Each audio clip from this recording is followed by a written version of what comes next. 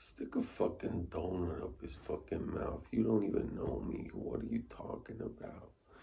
You motherfuckers don't know what the fuck is going on. You